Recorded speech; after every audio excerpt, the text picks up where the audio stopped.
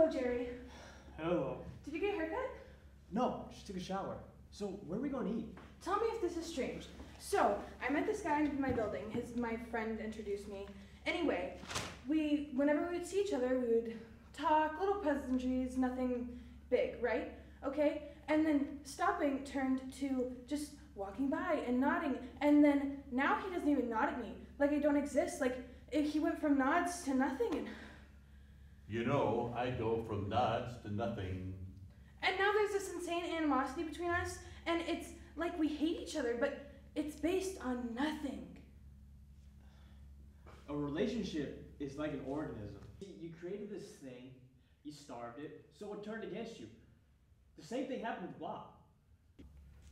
You know, I think you absolutely have to talk to this guy. Really? You need to confront him. Confront him. Really? Yes. Okay, you would do that? Well, I would if I was a different person. Hmm? Yeah. Taste this. Oh my god.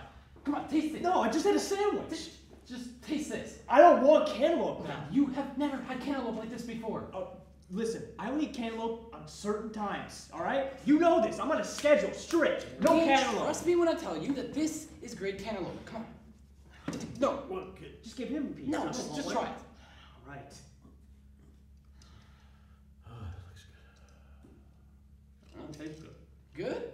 Is it good? Hey, all not right. for you. Good, huh? No, I got it from Joe's. Uh-huh. Yeah, it's like it's like uh, 49 cents a pound. That's, you need a back. This is for him. 49 cents a pound. That's practically half you're paying at the supermarket. You can use my shopping cart. I'm not pulling a shopping cart. What am I supposed to wear? A kerchief?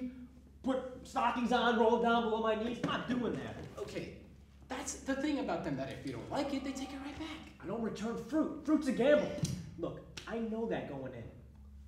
Study up.